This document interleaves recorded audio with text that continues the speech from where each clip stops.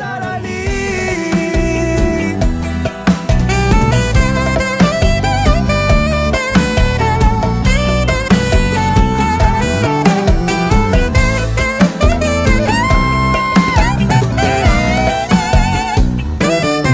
Todos os planos que um dia a gente fez hoje se acabam.